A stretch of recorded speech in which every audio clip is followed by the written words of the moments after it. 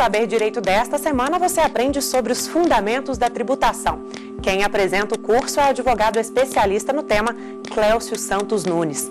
Nas aulas, ele ensina a identificar os tributos existentes no Brasil e as garantias do contribuinte. Você vê tudo isso agora no Saber Direito.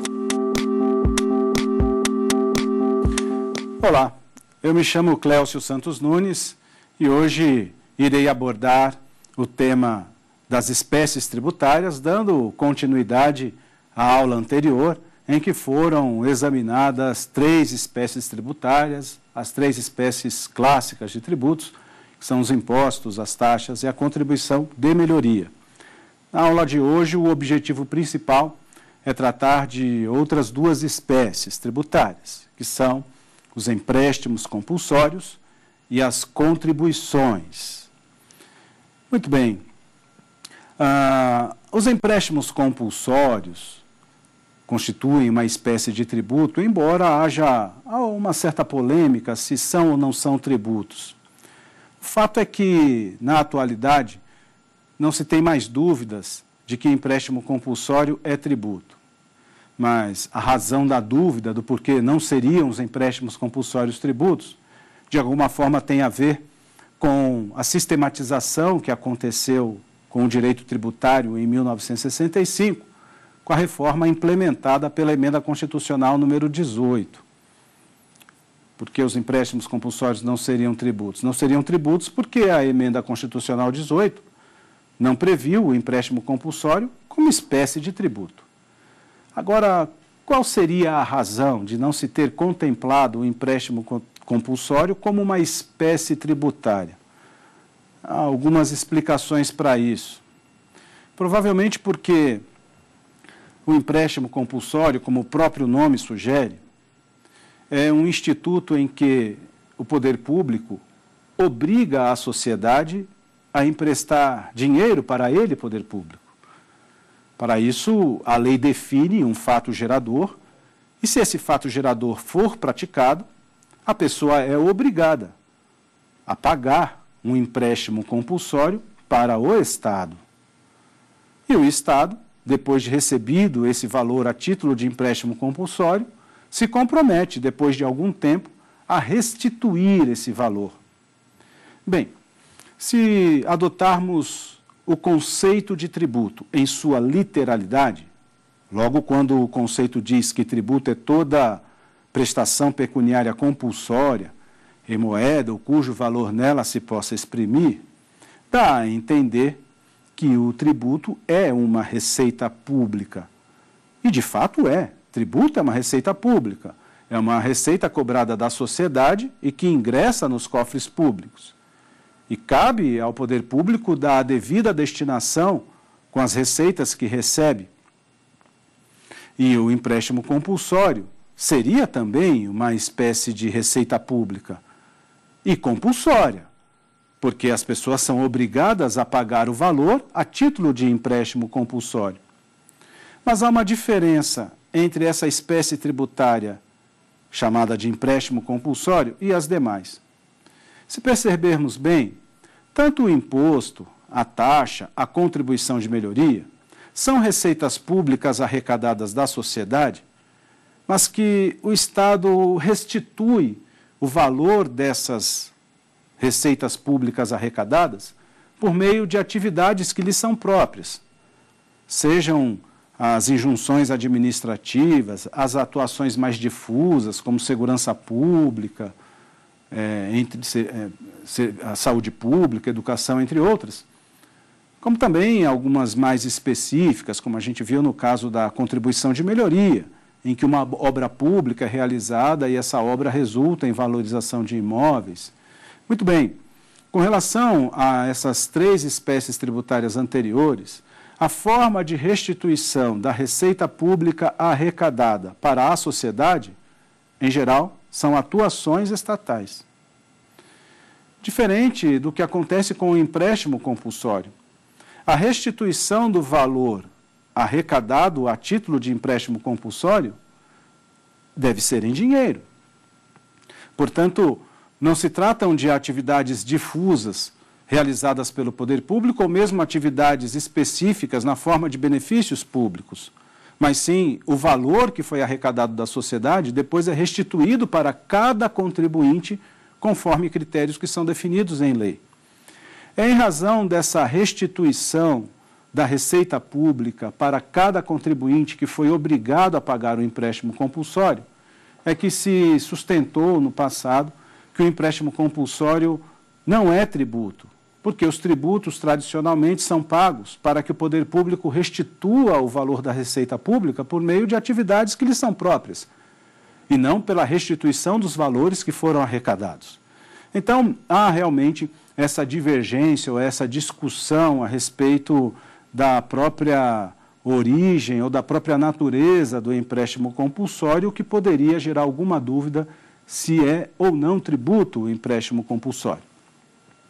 Mas na atualidade, não existem mais dúvidas a respeito desse assunto, pelo menos no plano da jurisprudência do direito tributário brasileiro.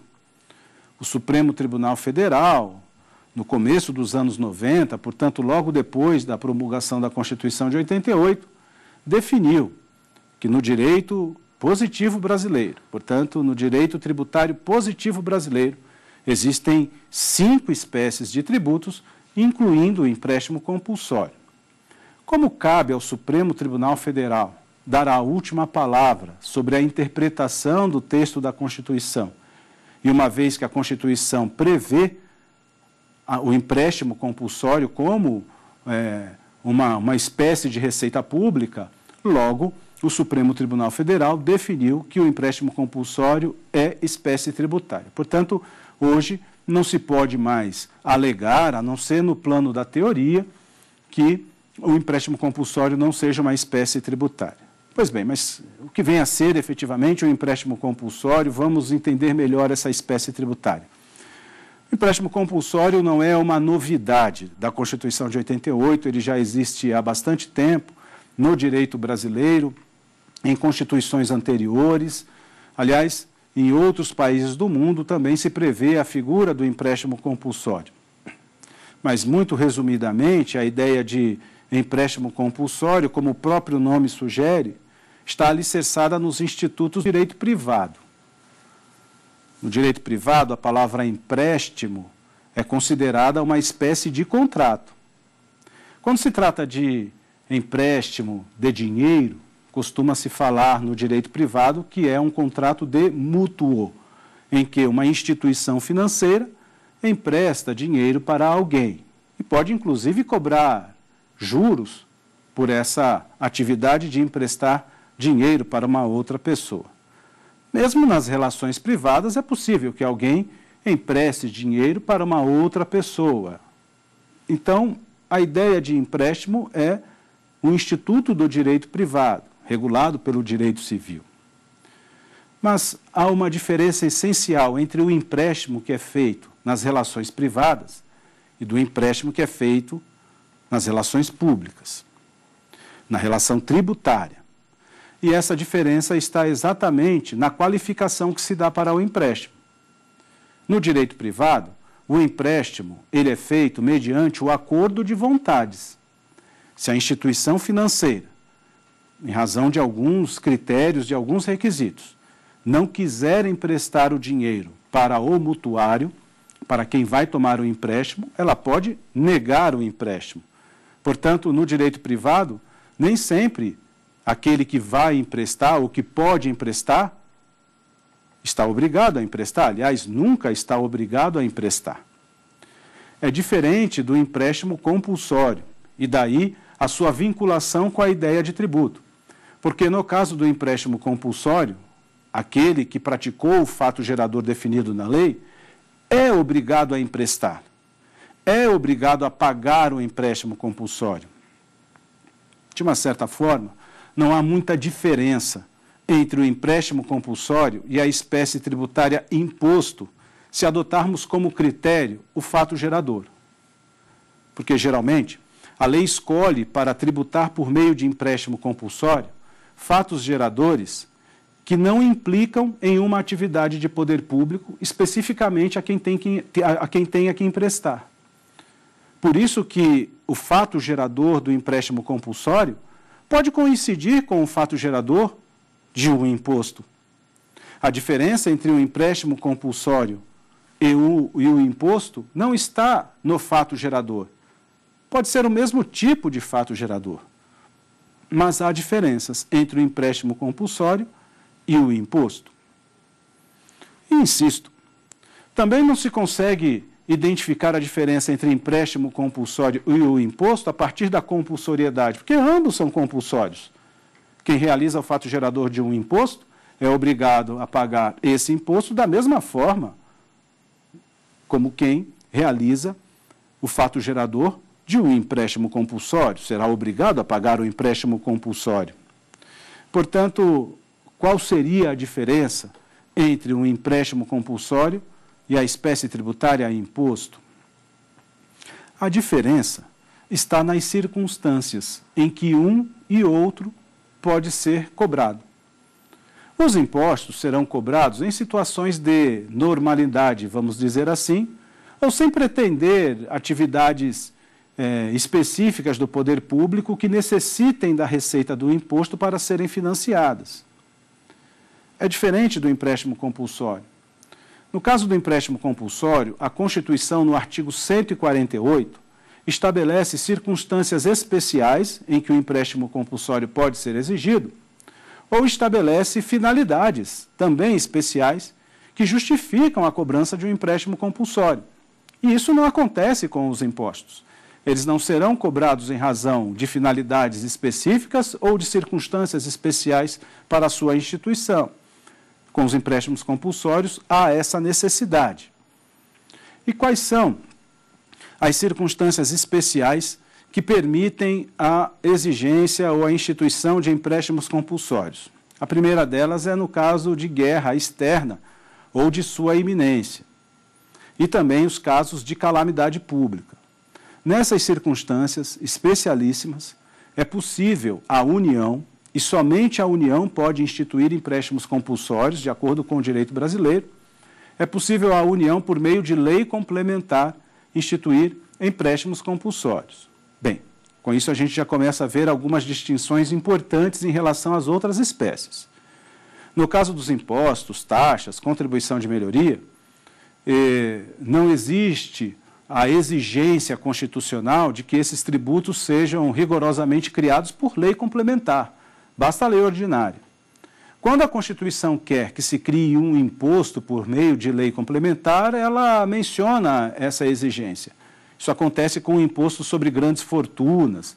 Nesse caso, deve ser criado o imposto por meio de lei complementar. Mas com relação aos empréstimos compulsórios, eles serão exigidos sempre por lei complementar. Mas é necessário que estejam presentes essas circunstâncias iniciais, como hipótese para sua criação, o caso de guerra externa ou sua iminência, ou os casos de calamidade pública. Portanto, presente uma dessas circunstâncias, é possível à União, por meio de lei complementar, criar um empréstimo compulsório. Cabe ao Poder Executivo Federal encaminhar, por meio do Presidente da República, um projeto de lei complementar prevendo a criação do empréstimo compulsório. Será definido, portanto, um fato gerador que irá obrigar as pessoas a pagarem o empréstimo na medida em que realizarem esse fato gerador.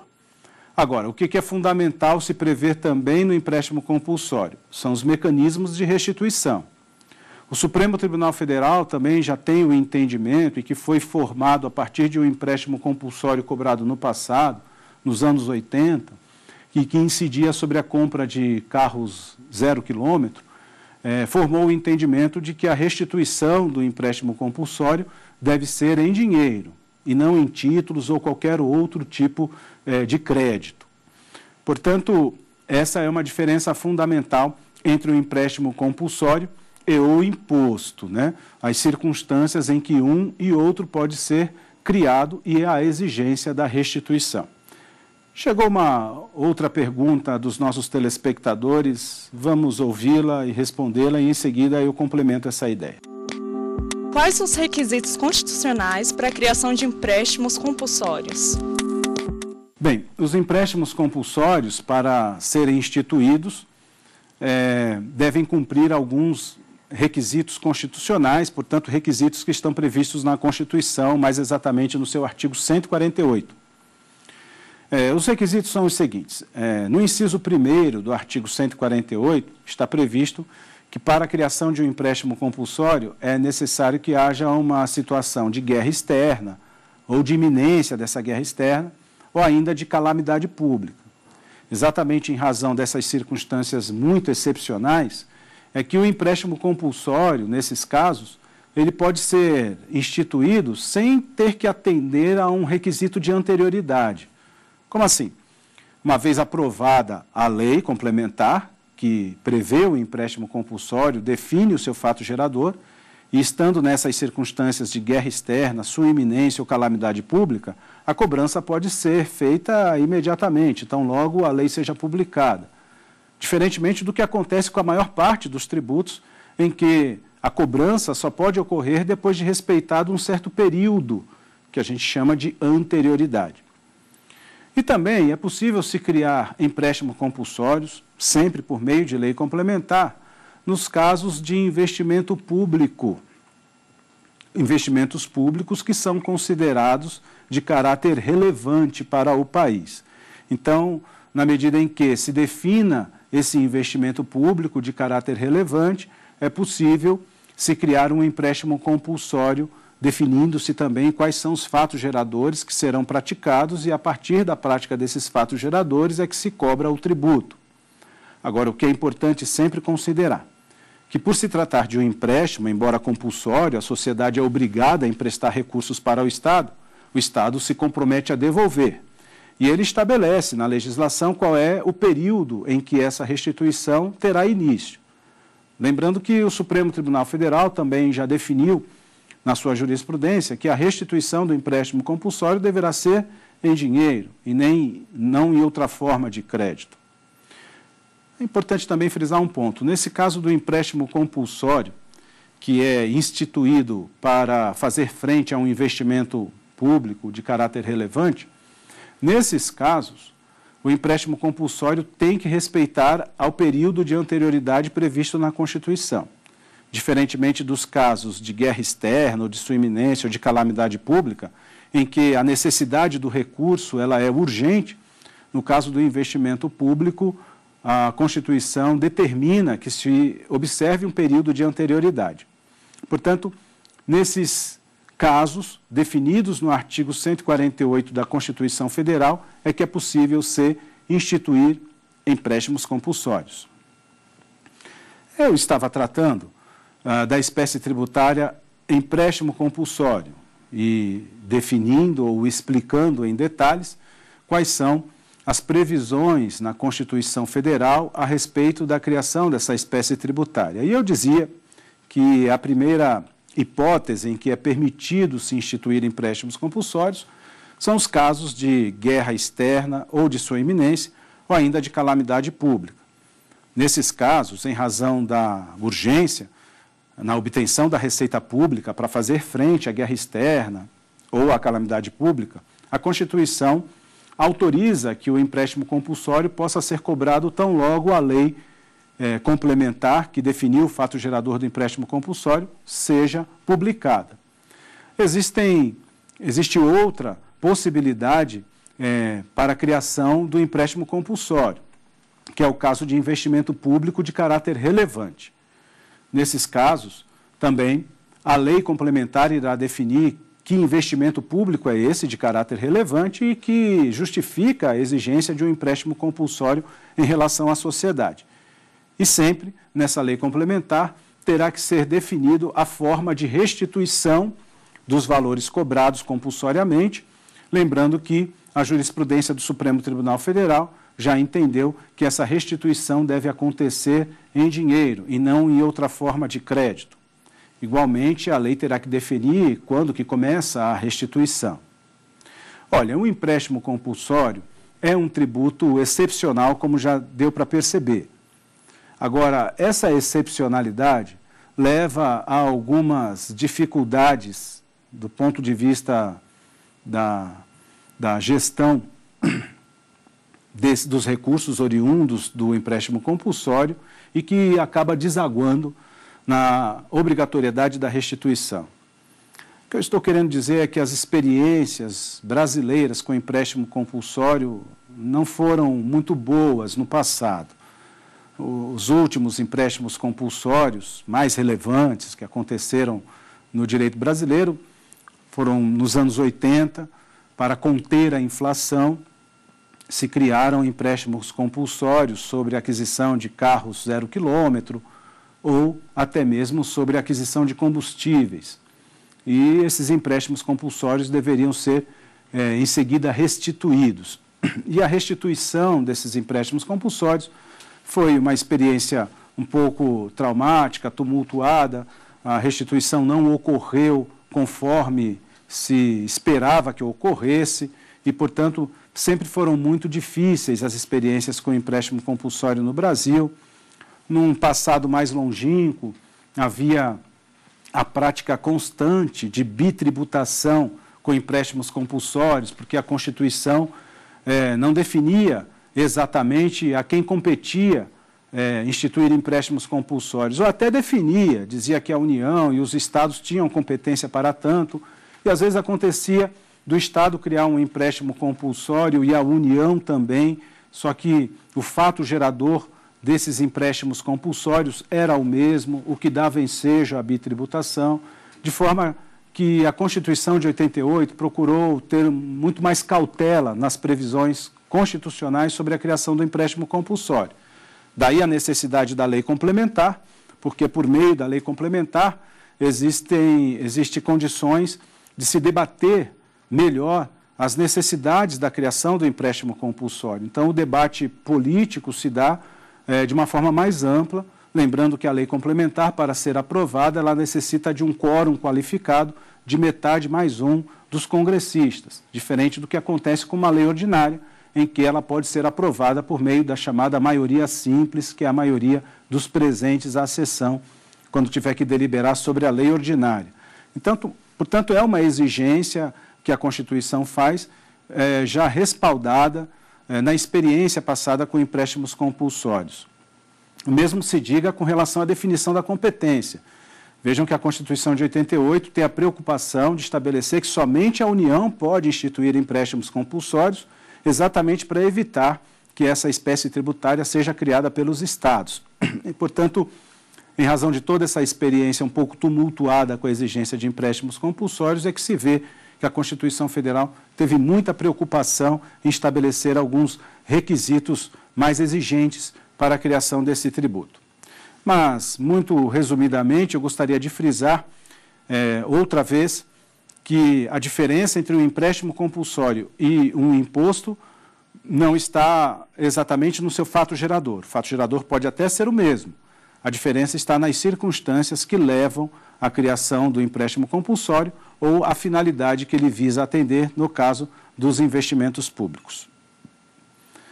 Mas, além dos empréstimos compulsórios, para a aula de hoje eu selecionei ainda nós examinarmos, a, ou pelo menos iniciar o exame, da espécie tributária contribuição, que seria a, a quinta espécie tributária, já que já estudamos as quatro anteriores, né?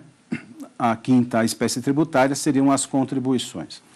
Eu costumo classificar as, a espécie tributária contribuição chamando de contribuições especiais. Por que contribuições especiais? Porque realmente, se existe um ponto de nítida fragilidade no exame das espécies tributárias no direito brasileiro, essa fragilidade está nas contribuições. Isso porque o Código Tributário Nacional, que é de 1966, ele não previu exatamente uma disciplina jurídica com alguns detalhes, com conceitos, a respeito de contribuições. Na época em que o código foi é, instituído, em 1966, as contribuições talvez não tinham o mesmo peso que tem hoje na arrecadação de receitas tributárias. Era muito incipiente eh, o regime de contribuições no direito tributário brasileiro. Com a Constituição de 88, é, se inverteu. Hoje, boa parte da receita tributária é garantida pela cobrança, pela exigência de contribuições. E por isso que costumam qualificá-las como contribuições especiais, em razão de algumas peculiaridades que vão ser é, expostas e explicadas por mim ao longo da nossa aula. Mas essas contribuições especiais, elas podem se dividir primeiramente em três grupos. Isso porque o artigo 149 da Constituição, ele estabelece, por assim dizer, três subespécies de contribuições, que nós chamamos de contribuições sociais, contribuições de intervenção no domínio econômico e contribuições do interesse de categorias profissionais e econômicas. Isso está exposto no artigo 149 da Constituição. Mas não para por aí. Existem outras contribuições que vão além do artigo 149 da Constituição. Por exemplo, um grupo de contribuições que é muito importante, talvez de todas as contribuições que nós possamos estudar aqui, as mais representativas, são as contribuições destinadas ao custeio da Seguridade Social. Essas contribuições não estão previstas especificamente no artigo 149 da Constituição. Elas estão no artigo 195. E nesse artigo 195 está disciplinado o chamado custeio da Seguridade Social. Mas vai além. Existem outras contribuições de natureza social ou às vezes até previdenciária que não estão nem no artigo 149 da Constituição, nem no artigo 195. Por exemplo, a contribuição para o PIS-PASEP, essas siglas PIS-PASEP, são siglas de tributos. PIS significa Programa de Integração Social e o PASEP é o Programa de Formação do Patrimônio do Servidor Público. São duas contribuições de natureza previdenciária, atualmente elas têm essa natureza previdenciária, e são contribuições que estão previstas no artigo 239 da Constituição. Quer dizer, elas formam um misto de contribuição previdenciária com contribuição social. Portanto, não estão nem no 195 e nem no artigo 149 da Constituição. Outro exemplo são as chamadas contribuições para o Sistema S. Sistema S é o Sistema de Serviços Sociais Autônomos. Foram instituições criadas nos anos 40 com o objetivo de auxiliar segmentos econômicos como a indústria, o comércio, com relação à qualificação dos profissionais na área de educação, na hora de formação de uma, de uma profissão. E esse sistema S, que é conhecido por siglas que são muito populares, como o SESC, o SENAC, o SESI, o SENAI, SENAT, cada uma referente a um setor produtivo, esses serviços sociais autônomos também são custeados com contribuições que são cobradas da iniciativa privada, chamada contribuição para o sistema S. Essas contribuições estão previstas no artigo 240 da Constituição. O que eu estou querendo dizer é que essa disciplina das contribuições no direito brasileiro, ela é uma, uma, uma, uma disciplina que não é muito sistemática. Como nós vimos, o 149 prevê um grupo de contribuições, 195 outra, 239 mais um e 240. E para terminar, vejam só, o artigo 149A da Constituição prevê uma outra modalidade de contribuição que é para custear o serviço de iluminação pública. Portanto, realmente são vários artigos da Constituição que tratam dessas contribuições, por isso que considero como contribuições especiais. Está chegando uma outra pergunta, vamos ouvi-la e em seguida eu complemento essa ideia. Somente a União poderá instituir contribuições especiais? Bom, boa pergunta. De fato, a Constituição Federal teve uma preocupação inicial em definir a competência para instituir contribuições. Semelhantemente é, ao que aconteceu com os empréstimos compulsórios, é, o texto da Constituição de 88 previu que somente a União poderia instituir contribuições especiais, fossem elas as sociais, de intervenção no domínio econômico, de interesse de categorias profissionais e econômicas, o PIS, IPASEP, as contribuições para o Sistema S. Todas essas contribuições que surgiram com o texto da Constituição de 88 tinham como competência definida apenas a União, somente a União poderia instituir essas contribuições. Mas com o passar do tempo e as necessidades públicas de receita, de arrecadação, isso foi mudando um pouco. Então, atualmente, é, nós, eu posso afirmar que não só a União tem competência para instituir contribuições especiais. Por exemplo, para os regimes previdenciários nos estados e nos municípios, cada um desses entes federados poderá instituir contribuições para custear os regimes próprios de previdência dos seus servidores. Aliás, deverão. A Constituição obriga, no artigo 149, que estados e municípios criem regimes próprios para o pagamento de, é, de, de, de benefícios previdenciários para os seus servidores públicos. Portanto, não é competência da União instituir o regime de contribuição para esses regimes próprios de previdência. A mesma coisa acontece para a contribuição é, para o custeio do serviço de iluminação pública. O serviço de iluminação pública, que é mantido pelos municípios e também pelo Distrito Federal, porque o Distrito Federal também tem competências que o município igualmente tem. Então, tanto o Distrito Federal quanto o município é, poderão instituir contribuições para o custeio do serviço de iluminação pública. Em resumo, na atualidade, depois de algumas mudanças acontecidas na Constituição, não é só competência exclusiva da União instituir contribuições especiais. Algumas modalidades de contribuições especiais poderão ser instituídas por outros entes federados. Eu estava tratando uh, do tema das contribuições, mais especificamente fazendo um panorama geral sobre as chamadas contribuições especiais e por que, que elas podem ser qualificadas como tais, como contribuições especiais. Exatamente porque a previsão dessas contribuições ela é um pouco esparsa na Constituição Federal, faltando, portanto, uma espécie de sistematização mais lógica a respeito dessas contribuições. Lembrando também que o Código Tributário Nacional, que tem a função de ser lei geral em matéria tributária, uma das funções do Código Tributário Nacional é ser a chamada lei geral em matéria tributária. Portanto, cabe a ele, o Código Tributário Nacional, disciplinar o conceito de tributo, o conceito das espécies, mas com relação à espécie tributária é, contribuição, o Código é, não, não estabelece regras sequer gerais a respeito delas, exatamente porque, na época em que ele foi elaborado, o regime das contribuições não era tão difundido como é na atualidade. Portanto, como é que se instituem ou se cobram contribuições no direito tributário brasileiro? Bom, não dá para se fugir do conceito de tributo e nem de algumas limitações que a Constituição prevê no exercício da tributação. Como eu disse é, em aulas anteriores, o conceito de tributo ele depende é, de uma, uma, uma, previsão e que está na Constituição Federal, também consta do Código Tributário Nacional, é que o tributo tem que ser criado por meio de lei.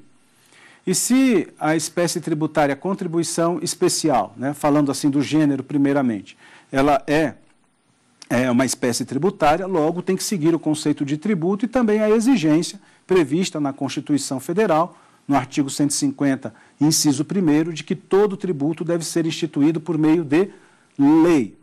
Mas não existe no Código Tributário ou em qualquer outra lei geral uma definição dessa espécie tributária, assim como existe para o imposto, para a taxa, para a contribuição de melhoria. Não existe uma definição ampla e geral é, sobre contribuições valendo para todos os entes federados. Então, o que acontece? A cobrança das contribuições, sejam elas sociais, de intervenção no domínio econômico, etc., ela acaba sendo feita de uma forma é, específica, talvez casuística. Cada contribuição que é criada, há uma lei, e essa lei disciplina o fato gerador, a base de cálculo, quem serão os contribuintes dessas contribuições e assim por diante, alíquotas, isenções, eventualmente isenções. Então, portanto, se trata é, de, uma, de uma criação de tributo bastante específica. Não existe uma, uma, uma conceituação mais geral como existe para as outras espécies tributárias. Mas é necessário se fazer, ainda que rapidamente, uma diferenciação, uma, uma, uma distinção entre essas modalidades de contribuições especiais que eu me referi. Né? Começando, portanto, pelo artigo eh, 149 da Constituição. Ele diferencia contribuições especiais consideradas sociais, de contribuições de intervenção no domínio econômico e também das chamadas contribuições do interesse de categorias profissionais e econômicas. Qual é a diferença, portanto, entre elas? Bom, primeiramente a gente tem que entender o seguinte: as contribuições elas são utilizadas como um instrumento para o alcance da realização dessas respectivas finalidades.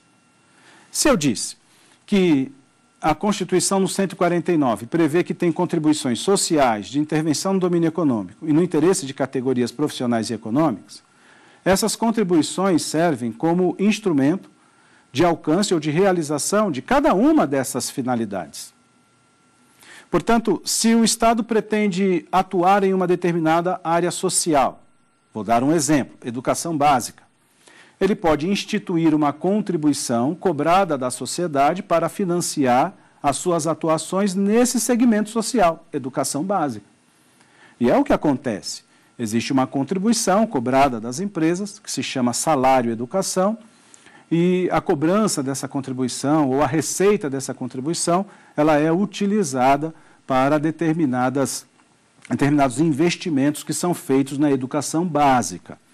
Então, esse é um exemplo de contribuição social. No passado, existiu uma contribuição também social para o financiamento da saúde, que era chamada CPMF. E, vez por outra, esse assunto vem à tona, agora mesmo, há todo um debate se será criada ou não uma contribuição CPMF para o financiamento da saúde. É outro exemplo. Das movimentações financeiras era cobrada uma contribuição cuja finalidade era investir na área de saúde. Então, é sempre assim, a contribuição ela visa atender uma, uma finalidade específica. Intervenção no domínio econômico é uma outra área um pouco nebulosa com relação a disciplina das contribuições, né? o que efetivamente justificaria a cobrança de uma contribuição para a intervenção num determinado segmento econômico. Mas o que é possível se é, deduzir, o que é, impossível, o que é possível se concluir primeiramente, do ponto de vista é, do que está previsto no artigo 149 da Constituição, é que o Estado ele pode intervir no domínio econômico de várias maneiras. Ele pode criar uma empresa estatal, ele pode conceder créditos públicos, como também ele pode criar um tributo, que é uma forma de intervir no determinado segmento econômico. É o que acontece, por exemplo, com os combustíveis. Sobre a comercialização no mercado interno de combustíveis fósseis ou o álcool, e também na importação de combustíveis fósseis e, eventualmente, na importação do álcool, incide uma contribuição de intervenção no domínio econômico e que tem alguns objetivos. O primeiro objetivo dessa contribuição de intervenção no domínio econômico sobre os combustíveis é o de subsidiar o preço dos combustíveis. Um segundo objetivo seria de realizar investimentos, atuações na área ambiental, porque a queima do combustível fóssil e até mesmo a sua exploração causa impactos ambientais relevantes. E também essa contribuição de intervenção no domínio econômico é, sobre combustíveis teria a finalidade de financiar investimentos na infraestrutura de transportes, né? estradas, rodovias, etc. Então, veja, o Estado, é, de um segmento econômico que é bastante elástico na economia, como é o caso da aquisição de, com, de combustíveis, ele obtém uma parcela de recursos para realizar determinados investimentos. E também o artigo 149 prevê contribuições especiais que serão cobradas em razão é, de atividades econômicas ou profissionais. O objetivo, nesse caso, é se obter recursos de determinadas atividades econômicas ou profissionais para o custeio das entidades que organizam essas entidades econômicas ou entidades, ou entidades que estão voltadas a alguma atividade profissional. geralmente dá-se o nome dessas contribuições de contribuições corporativas, porque, nesse caso, é, algumas profissões, especialmente as profissões liberais, elas precisam se organizar, precisam ser organizadas. Até porque a atividade do profissional liberal pode ensejar determinados riscos para a sociedade. Dá o exemplo da medicina. O médico é, pode ser um profissional liberal, mas a sua atividade profissional exige certos cuidados, exige a observação de certos preceitos éticos, e isso tudo tem que ser, de alguma forma, fiscalizado e até mesmo regulamentado. A questão é quem vai regulamentar e quem vai fiscalizar. Poderia ser o Estado? Bom, poderia. O Estado poderia ter órgãos que tivessem lá seus departamentos, os seus segmentos para regulamentar e fiscalizar cada uma das atividades profissionais liberais. Agora, é evidente que isso iria gerar um, certo agigantamento maior né, do Estado, porque ele teria que ter órgãos com essa capacidade. Então, no caso do Brasil, o que, que é feito? É estimulado as atividades liberais, conforme elas são regulamentadas por lei, são criados os seus conselhos federais e depois eles são distribuídos em conselhos regionais. E esses conselhos têm a função de disciplinar essas profissões liberais e também é, é, fiscalizar o bom desempenho dessas atividades liberais. Agora, tudo isso exige custos. E esses custos são financiados com contribuições pagas pelos próprios profissionais. Então, no caso da medicina, no caso da administração de empresas, da engenharia, arquitetura e assim vai, todas essas profissões, os seus profissionais, os profissionais desses quadros, são obrigados a pagar contribuições para custear, manter os seus órgãos de classe. Uma exceção fica por conta da OAB. É, a OAB, Ordem dos Advogados do Brasil, a atividade da advocacia também é uma atividade liberal, mas por entendimento da jurisprudência brasileira, a contribuição que o advogado paga para o seu órgão de classe, que é a OAB, não tem natureza tributária, portanto, é uma cobrança de natureza civil, privada. Existem, claro, consequências pelo não pagamento, de ordem disciplinar, mas por entendimento da jurisprudência brasileira, não tem natureza tributária, diferentemente do que acontece com as outras profissões liberais. Bem, chegou mais uma pergunta dos nossos telespectadores, vamos ouvi-la e em seguida eu continuo. Qual a jurisprudência do STF sobre a natureza jurídica dos empréstimos compulsórios e das contribuições? O Supremo Tribunal Federal, ele já definiu na sua jurisprudência que o empréstimo compulsório tem natureza tributária. Isso já é, interpretando a Constituição Federal de 1988, porque antes da Constituição é, havia uma dúvida, ao menos na teoria, e de alguma forma também isso refletia no entendimento jurisprudencial, se o empréstimo compulsório era ou não tributo. Só para vocês terem uma ideia, o Código Tributário, que é de 1966, ele espelhava a reforma tributária de 65, da emenda 18. A emenda 18 previa somente três espécies de tributos: os impostos, as taxas e contribuição de melhoria. Logo, o CTN, no artigo 5, quando define quais são as espécies tributárias, se refere somente a essas três. O empréstimo compulsório aparece no artigo 15 do Código Tributário Nacional mas não exatamente classificado como espécie tributária. Portanto, havia realmente essa dúvida, essa discussão se o empréstimo compulsório era ou não tributo, com base nas informações de natureza teórica que eu passei no começo da aula. Mas depois da Constituição de 88, isso mudou. Com a Constituição de 88, o Supremo Tribunal Federal alinhou o entendimento, assentou o entendimento de que ah, os empréstimos compulsórios é, ingressam no grupo das espécies tributárias brasileiras. E isso não é pouca coisa. Com, essa, com esse entendimento do Supremo Tribunal Federal, significa que para se instituir um empréstimo compulsório, tem que se seguir todas as regras de tributação que a Constituição define, o que enrijece mais a cobrança dessa espécie tributária e, evidentemente, traz mais garantias para o cidadão contribuinte. Então, Atualmente não há dúvida que o empréstimo compulsório ele é uma espécie de tributo. Sobre as contribuições, igualmente, o Supremo Tribunal Federal é, definiu que as contribuições são espécies tributárias, elas são muitas, espalhadas no texto da Constituição Federal, e não existe uma aglutinação ou uma sistematização em uma lei geral a respeito de contribuições, talvez com uma definição por meio de uma lei geral do que efetivamente significam as contribuições especiais no direito tributário brasileiro, se tenha um pouco mais de segurança para se lidar com esse tema. Enquanto essa lei geral não vem, são leis esparsas que criam as contribuições e essas leis teriam, por assim dizer, a autonomia, desde que não fuja dos preceitos constitucionais, teriam a autonomia de disciplinar a cobrança das contribuições. Eu estava tratando do tema das espécies tributárias e, de alguma maneira, dissecando o artigo 149 da Constituição, que prevê três espécies de contribuições, que são elas as contribuições sociais, contribuições de intervenção no domínio econômico e as contribuições no interesse de categorias profissionais e econômicas. E é necessário que se faça essa distinção, exatamente porque quando se trata desse tema contribuições especiais, é, talvez uma dúvida que surja, e essa dúvida acaba levando a confusões, é, se existiria alguma diferença é, no direito brasileiro entre as contribuições e as outras espécies tributárias. Bom, existem essas diferenças.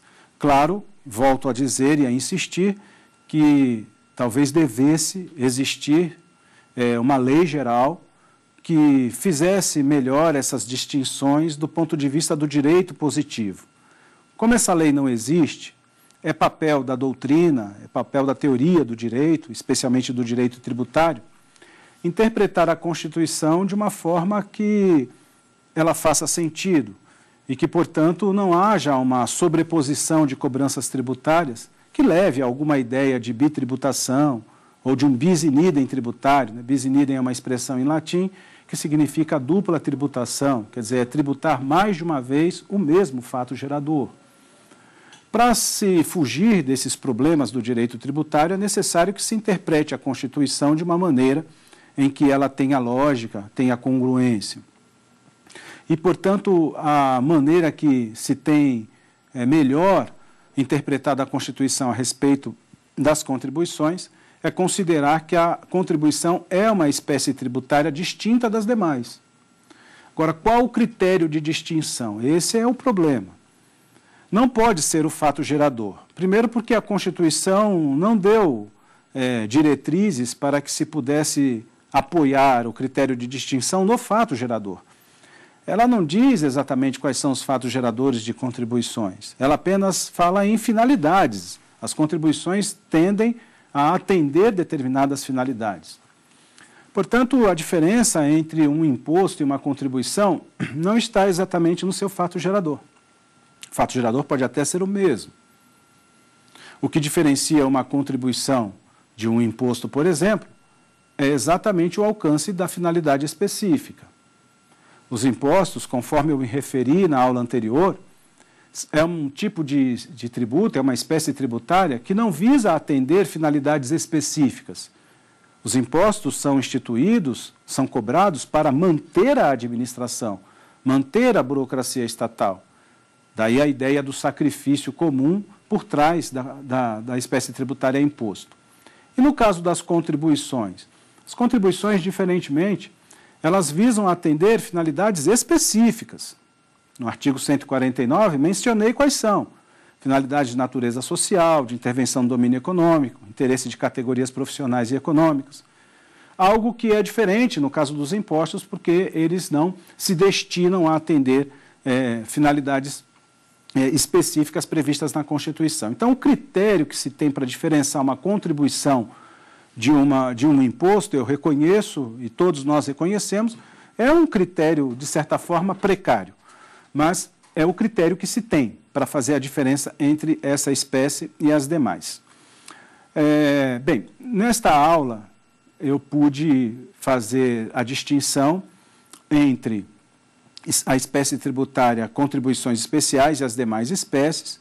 falar um pouco, claro que nas limitações que são impostas em razão do tempo, sobre as três modalidades de eh, contribuições que estão previstas no artigo 149 da Constituição. Na próxima aula, eu darei seguimento a essas, a essas explicações, vamos tratar um pouco mais das contribuições especiais, mais exatamente as contribuições que custeiam a Seguridade Social e também outras espécies de contribuições previstas na Constituição. Até lá. Ficou com dúvidas sobre o assunto? Então mande um e-mail para saberdireito@stf.jus.br. E você também pode estudar pela internet acessando o site tvjustiça.jus.br.